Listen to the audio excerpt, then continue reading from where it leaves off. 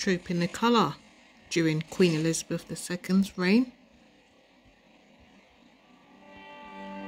National anthem is playing. Queen Elizabeth II stands for the national anthem alongside her husband, Prince Philip. He's about to salute. This is Precious Memories, looking back. Ah.